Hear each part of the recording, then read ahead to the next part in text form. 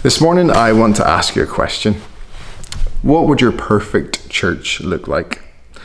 For some of us, we might say, well, it would be an early start to make the most of the day. For others, you might think, I would love a lie in. For some, uh, you might want to be greeted at the front door with a hug. For others, a firm handshake is fine for you.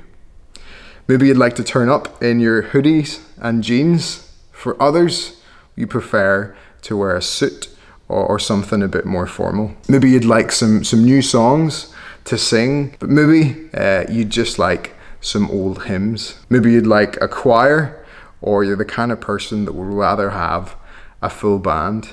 Maybe you'd like a cool uh, preacher um, that uses his iPad when he speaks, or maybe you'd rather have something a lot more traditional um, like a Church of England bishop. Maybe um, you like a traditional old building with some history to it, or maybe you prefer a cool building with some comfortable seats that you can relax in. Maybe in your perfect church, uh, you'd like to have a donut um, and the finest coffee that you can find on a Sunday morning.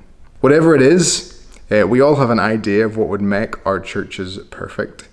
Charles Spurgeon once said um, that if he were to look for the perfect church and if he were to find it, it, it would not be perfect for long because he would be a part of it.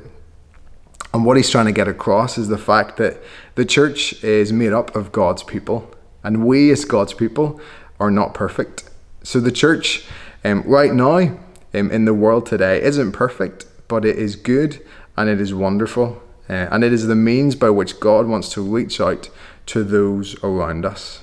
And so today we're going to think about what the church is and we're going to celebrate um, all of the good things that the church does and how God um, is using his church to build his kingdom.